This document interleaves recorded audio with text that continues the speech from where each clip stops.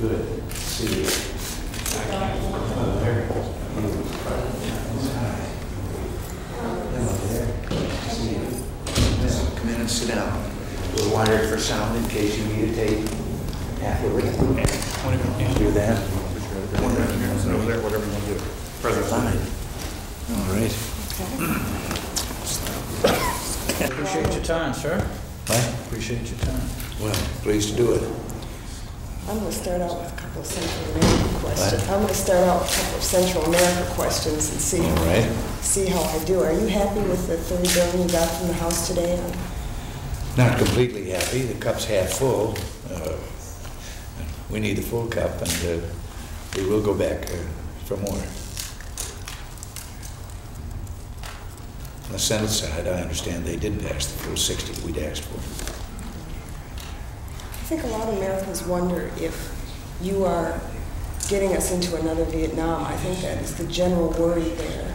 Something that's secret and, and we quietly slip in before we realize we're there. Are we? No. And there is no comparison whatsoever in this situation and Vietnam. And I will be speaking more about this tomorrow night uh, to the Congress. But there's, there is no, and never has been, any thought or discussion of sending troops uh, anyplace here in the, in the Americas, nor are they asked for or wanted. And uh, three-fourths or more of all that, uh, the aid that has gone down there has been economic aid, and less than one-fourth of it has been military aid. But Vietnam started similarly in our country saying that we had no intention of sending any troops there. We weren't going to get into it. And because of all the debate over secret operations, I think there's a great concern. Do you think there's a point when you could tell Americans more about what we're doing in Nicaragua, for example? Well, no, look what, look what we had in Vietnam. We had a place that wasn't even named that, it was named uh, French Indochina. And it was part of the decolonizing that uh, began after World War II. And at a meeting of the leading nations, uh, Western world in, in Geneva, it was decided that there would be a North Vietnam and a South Vietnam. And uh, two companies were, countries were created. All sorts of provisions were made as to uh, how they could determine where they wanted to go and so forth. And uh, the people of one country or the other were supposed to be allowed to change if they wanted to. North Vietnam, uh, when a million people crossed over into South Vietnam, preferring that to the communist rule that existed under Ho Chi Minh in North Vietnam, they shut the borders contrary to the agreement and so forth. But you had there an assault on one country by another. But the advisors that were in there were in there because it was a new country, South Vietnam. They were, for the first time, going to have to have things like their own defense, their own military, and so forth. And we were simply in there trying to help them establish all the things that go with being an independent state. And the uh, invasion from North Vietnam really started, uh, while most people portrayed it as a, as a, a Viet Cong, a domestic revolution. It wasn't at all. We know now that they were sent in deliberately. They were North Vietnamese forces. But th the whole thing was on a totally different basis, to say nothing of being 10,000 miles away, than the situation here of a duly elected government that is being attacked by guerrilla forces that are sponsored by outside countries. But it's the situation in Nicaragua that I think right now is causing so much concern because of the secrecy of what's going on there. Um, is it? Do you think there's a tomorrow night or some point along where, where you can describe more fully what what we're doing there beyond the trying to intercept Well, no, the what I think I will point out is that the difference between El Salvador and Nicaragua is that Nicaragua is a is a revolutionary government that by force uh, took over the, uh, the governing of Nicaragua. But then you had the internal fight in which uh, many of the revolutionaries were cast aside, and uh, the promises that had been made as being the goals of the revolution were never carried out. Our country had tried to do and been trying to uh, get along, negotiate with Nicaragua, but our interest there is because the arms and the training and even the direction of guerrilla military movements are all centered in Nicaragua. The arms are coming into El Salvador by way of Nicaragua. We know that the, the operations of the Salvadoran guerrillas are directed by radio from the capital of, near the capital of, of uh, Nicaragua. Well, you, you said in your last press conference that we wouldn't do anything to, to uh, violate the Boland Amendment. How would you feel if the guerrillas themselves said that their intentions are to overthrow the government there? But we can't control what, what they're saying. What we're interested in is preventing this continued military supply and, uh, and training and Well, can't we control what they're doing with, with our arms, though? What? Can't we control what, what, uh, if they're saying that they're trying to overthrow the, throw the government, can't we control that? Well, as I say, we're interested in making it more difficult, uh, in fact impossible, for Nicaragua to continue to arm the guerrillas in El Salvador.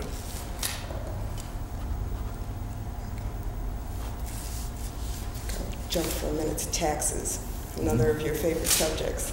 Now, Howard Baker said yesterday that, or I think it was earlier today, that um, he thought uh, that the Republicans would have to go for about $8 billion to 10 billion in new taxes in order to save the third year of your tax cut and your indexing. If they structured that in such a way that it didn't, that it wasn't an income tax, do you think you could buy it? I just have to say that I think that right now, with this recovery, the stage it has reached, uh, no one should be talking increased taxes. This would be a good way to uh, set back or cancel out the recovery. But if both, but if, but if the, both Democrats and Republicans are, and you've got the choice between what the Democrats are trying to do, the 30 billion, which could mean no third year uh, tax cut, no indexing. Couldn't you accept something to save that? If they Or would you attempted go it, down the road and if they veto? attempted it, I would veto that. Even, no, no amount at all? Not a cent, not a nickel? No. Mr. President, could I ask you about the, uh, your Commission on Educational Excellence today uh, uh, made a report saying that there was a tide of mediocrity sweeping uh, American schools. And implicit in what they said, I think, is that there have to be more money spent uh, for longer class hours, better paid teachers, and so forth. Uh, Are you, uh, would you be inclined to support more federal aid to education if that's what it took to, to have the kind of crash program that they're talking about? Well, yes, we've talked about that, but providing there would not be any increase in federal administration of those funds. Um, we think there is a parallel between the federal involvement in education and the decline of quality over recent years. But the, uh, what is more needed than just throwing money at education, we're right now spending more money than any other country in the world. We're spending $215 billion on education in this country. Um, we think has happened is, well, the report will speak, speaks for itself, that uh, we have let up. Uh, we are not actually uh, taking the students to the limit of their ability. Uh, we think we need more uh, required courses. Uh, this is what the, uh, what the commission has come up with. And I know that today uh, the question was asked of David Gardner as to uh, the one thing that was lacking in the report was the uh, demand for a big federal program. I thought his answer explained it very well when he said, uh, uh, no, we, uh, we are trying to uh, improve the quality of education. Uh, And that doesn't take a big federal program. You don't think there's any need for additional federal aid excluding administrative costs? Um, I have not had a chance to, to read the full report yet, but um, uh, no, I, I don't see any need for it. Mr. President, in connection with your visit with the newspaper publishers tomorrow, yesterday Senator Moynihan told the publishers they should roar like a tiger, I believe he told them, over press restraints on coverage by Congress and the administration. Do you think the press has anything to roar about in terms of covering Washington and your administration? Well, now, how did he just mean that, that they're to roar like a lion? Henry said that there was a montage of restraint, no major uh, problems, but uh, he referred to the uh, uh, Secret Agents Act, he referred to uh, the appellate uh, power of the Supreme Court, He referred to several incidents, and he said there is a montage of restraint, and the press should be more vigorous and noisy about protecting its ability to cover. I don't see that, and I don't think so. I've, I've, uh, I think the press is uh, free to uh, print those things that should be uh, should be printed. Uh, I think to suggest that um, that we uh, should declassify things that regard to national security would be ridiculous. I think the press would feel that way too. Do you think the public has anything to complain about in terms of what it is getting in the way of news out of Washington and your administration? Yeah, I'd like to see the press complain about that they're getting too many leaks. That's the, uh, that's, I guess that's your complaint about it. Yeah, Well, one, you've, you've said before frequently that uh, one of the reasons that you're not getting as much support as you should on some of your policies is because the public doesn't understand them. Um, Do you think the public is not getting a full account of them? well, now, I'm trying to think of a specific here in, in what we're, uh, I think defense was, huh? I think it was the defense buildup that, that, that most recently was Oh. complained about. Well, yes, I think there's, I think there has been a perpetuation of an image, of a, of a perception that uh, uh, somehow defense is the uh, cornucopia from which you can get all the revenues you need for anything else that you want to do, and that it doesn't have any bearing on our national security. And people have been led to believe that, uh, well, it's just larded with fat, and so you wouldn't really be hurting the muscle fiber of our security if you took more money away. And what I guess I suggested recently was that to talk about defense spending, the defense budget, and to talk about, well, let's take 5 billion off or let's take 10 billion off of the budget. There is no way that you can budget militarily that way. Those of us who are responsible for security, we don't go at how much we want to spend. We go at what do we need to meet the strategic plan that we have that we believe is necessary for our security. And then you add up what is that going to cost. Now, the only way that you can look at the defense budget is not by way of just counting dollars. The man who says, uh, uh, let's reduce the budget by $10 billion should be made to come in and look at that defense plan, and then we say to him, okay, where do you think, what would you do away with there that would save $10 billion?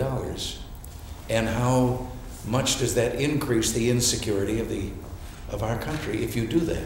Do you think then that the public generally just doesn't understand this process? Because the polls still show that, that even though you gained some back in, in recent weeks on this defense spending issues, the polls still show that people believe there can be, that they want a defense buildup, but not necessarily as much as a defense buildup But they've been want. told that over and over again.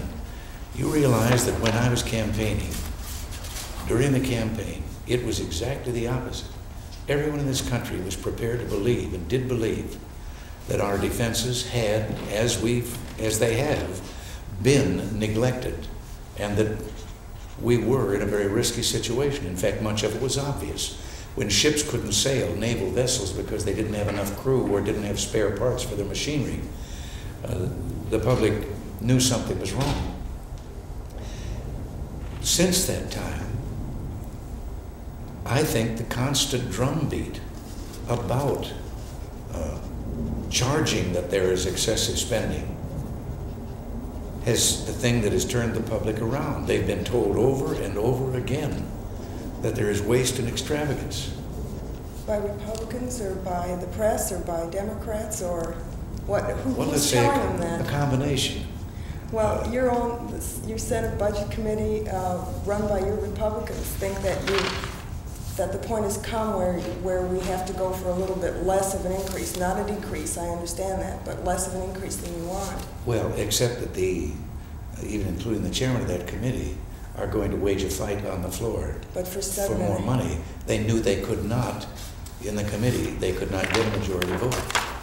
Turning to a topic that is is a little maybe less complex, what about uh, Senator Dole's comment yesterday that he doesn't think the public understands the issue with the bankers over uh, withholding tax? Well, I think there, that there was a perception built among millions of people that this was a new tax, that somehow something that had never been levied against them was going to be levied. Uh, They did not understand how many of them, the great majority of them, that wouldn't even be touched by this, that they would be exempt on the basis of their income or the size of their savings accounts. And this generated uh, probably the most successful lobbying effort that I've seen in, uh, in many years. Will you And, veto the way it's, for- the way, the way it's structured now, a four-year delay, would you veto that the way you would veto a Well, I'm going to wait before I make any comment of that kind of, you know, veto or not, till I see what eventually arrives out of the legislature. But the, the plain truth of the matter is, this is not a new tax. It's a tax that people are presently paying. Uh, And all that we wanted to do, the same as we do with wages, with withholding, was to be able to head off uh, several millions of people who are cheating on their income tax and are escaping payment by not paying on dividend and interest earnings. Do you think the press has failed to explain this? Or do you think it's the fact that the public doesn't want to understand it? Well, I don't know that I've seen that carried very much. I've, I think I've seen the news carried of the, of the lobbying, the news carried of the resentment of this, but I've never really seen an explanation of it. The editorial writers were with you. I don't think I read an editorial anywhere in this country that was, that was not on your side on this. I know the editorials, but then as we all know, only ten percent of the readers read the editorials. The ninety percent were reading something else in the same papers.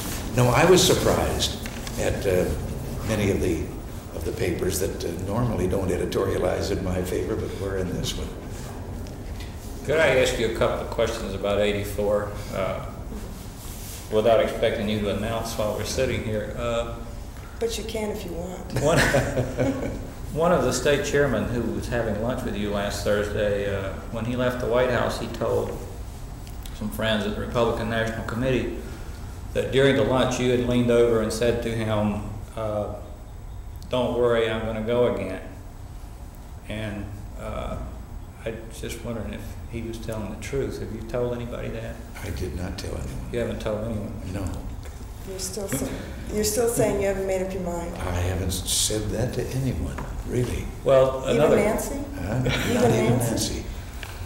Uh, Secondly, uh, one of your sort of supporters, uh, Terry Dolan from NCPAC, occasional supporters, I don't know if you're, have heard about this or not, but they are running television commercials uh, now saying that, uh, that the press is slinging mud at you and is trying to drive you out of running for a second term. And they are actually collecting money and they're asking for contributions to NCPAC on your behalf for, for running for reelection. Are you aware of this and do you condone or encourage this kind of activity? This is the first that I'd ever heard of it, and no, I couldn't condone it because uh, The election laws are very strict about that sort of thing. Do you feel that the press is trying to get you out of the campaign for running for reelection?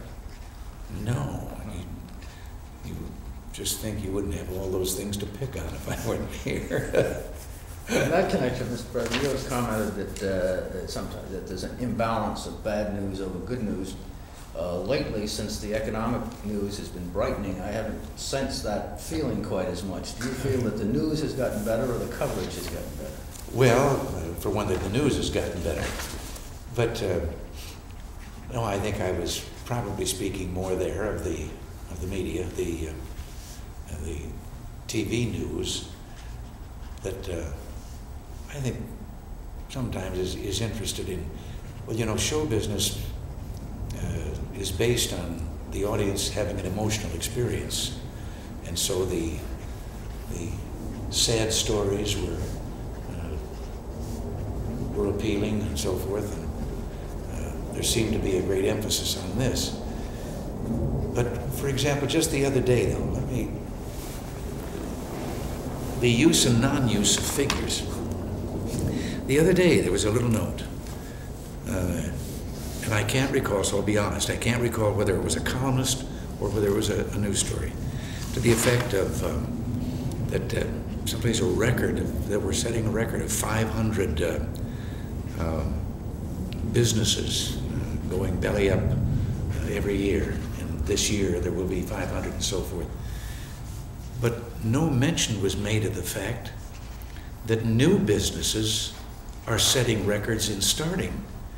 That in the same period uh, uh, when several thousand uh, businesses were reported as closing, I guess in the year of 1982, 600,000 businesses started up. And, uh, and the same was true for a long time. Every week, uh, faithfully reported was uh, how many people left or how many people signed up for unemployment insurance. But each week, the same source of information gives the number of people that uh, go off unemployment insurance. Now, admittedly, maybe not all of those go back to work. Maybe they just come to the end of their term. But uh, for many weeks, the number of people leaving unemployment insurance has been greater than the number of people going on. So, you know, speaking the good economic news, some experts think that part of the beginning of the recovery is due to uh, Paul Volcker's um, loosening up a little bit on the money supply. Why do you want to get rid of him now? the way you ask that question, you can't get a yes or no answer to that. Uh, there's never been any discussion over here of this. I know that's an appointment that comes up down the road a ways. There's never been any talk here. You Come mean, you mean, when you're saying here, you mean yourself, not your senior aides, or are you including in your senior aides on that? Well, th- there certainly has never been any involving me, or no one has ever broached the subject to me. So if you're, so if they're saying that, um, as I've seen reported, that um, they're almost unanimous in thinking you should get your own man in that job, that's their opinion and not necessarily yours. That would be their opinion. It's, Speaking of the aides, just one more. Um, do you do you intend to do anything about the feuding that's going on among some of the senior levels on your staff? Yes, I'm disturbed about it, and I think there again, this comes under the subject generally of leaks. Um, and I think it's time to to put a stop to what I think is uh, incorrect information.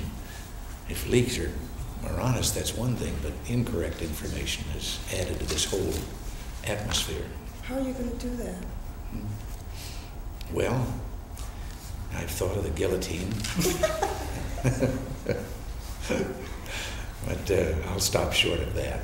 You, it's, do you, is it incorrect, the reports that, that um, Clark and Weinberger, or Clark and Weinberger and Baker, or whatever, I mean, what, which, is that, is it incorrect that, for instance, the defense people and, and Jim Baker and his staff are not uh, communicating as well as they should?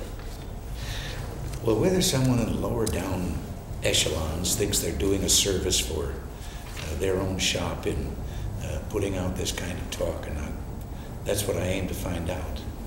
But no, the uh, I think some of the attacks that I have seen recently, uh, uh, both ways, are reprehensible and uh, do not portray the situation. So they're not few. No, anytime, no, anytime that uh, maybe some of this comes from the way I chose to do business. It's the way I did it in California for eight years. I understand that in the past, um, cabinets, for example, uh, each person had his own turf, and no one else in the cabinet would talk about a decision affecting the turf of that one cabinet member. I don't do business that way. I, ours is more like a board of directors.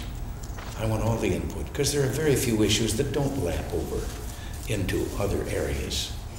Um, can you talk about farm exports without being involved uh, with the Department of Commerce and the Treasury Department and so forth? So I want everybody's input. I want to hear all the views and all the input. And then I make the decisions. The only thing different from the board of directors is I don't take a vote. I know that I have to make the decision. Well, one of the problems is, is that there was a feeling that uh, you could have gotten a better deal out of the budget committee if the issue of, of what your negotiating position was going to be. As an old negotiator, you didn't want to say too soon. Well, it appears that it may have come too late. Do, do you?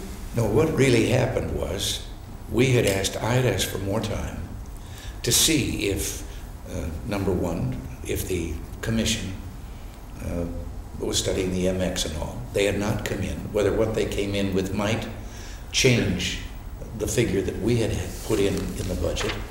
Also, the swift drop in inflation, uh, I, we thought had made some changes. And it takes time. There again, we come back to you can't just discuss money. You got to discuss what are we talking about? What are we, what are we talking about doing away with, or that won't cost as much, and so forth. And frankly, I had asked for time because I believed that we could have some flexibility, that our original figure could be changed. And the committee was in markup and meeting. And I asked for more time again, and they wouldn't give more time. And the only reason I was asking for more time was it took longer uh, than we thought. They were working on it over the Pentagon, and they came in with a figure, and it was a lower and a compromise figure. But it was too late. They had passed their figure. Now we're going to try to get our figure, which isn't as low as theirs, we're now going to try to get it considered. The seven five, Hmm? the seven seven point five percent. hmm Mr. President, you mentioned, you mentioned of showbiz and emotional experience. Does that suggest that you distinguish between the coverage you get in print and on television? Well, I think I'd be quoting an awful lot of newspaper men if I said that, that there is a flavor of show business more to the to uh, TV news than there is to the front page of a newspaper. Does that bother you? What? Does that bother you? Not when it's in my favor. Uh, If I could get back to Mr. Volcker just for a minute, I think it was the chairman of General Motors who said yesterday that, that this thing shouldn't be left hanging, uh, that uh, it could have a powerful effect on Wall Street, you know, the way they perceive what's going to happen here with the Federal Reserve. Uh, Most people assume that nothing around here happens by accident. Uh, Was it an accident that some of your aides set the tone for perhaps pushing Mr. Volcker out? Or does that concern you? If they did, and if those leaks, if, if they actually were leaking this, uh, then it had to be. As a matter of fact, uh, I told Mr. Volcker just the other day, after all of this flurry appeared, that there had been no decision made nor no conversation of any kind carried carried on here in the administration about this. And uh, I hope he won't mind my telling you his answer. His answer was to laugh and say, "I've been around to Washington a long time. Don't worry." Well, usually, as, as Don was saying, it's because they're trying, trying it out in the public. I mean, you know, there's leaks and there are leaks, and some of them are are, help you because you get policies Well, across. th- these. This one wasn't one of those? Believe me, these would not have been, what you're talking about aren't leaks, they're trial balloons. Yeah, No, okay. there were no trial, trial balloons. Because if it was a trial balloon, I would have had to know about it. You want to get one more? Mr. President, I'd like to make a uh, pitch that uh, you and your associates consider sending a message on leaks and news coverage to the Convention of the American Society of Newspaper Editors. I expect you don't want to visit with two newspaper groups in two weeks, but we hope somebody from your administration can visit with us, and I'll leave this with uh, Mr. Speakes. Oh, All right. Okay. All right. Thank you. A pleasure. Thank you very much. You bet. Certainly appreciate it. Are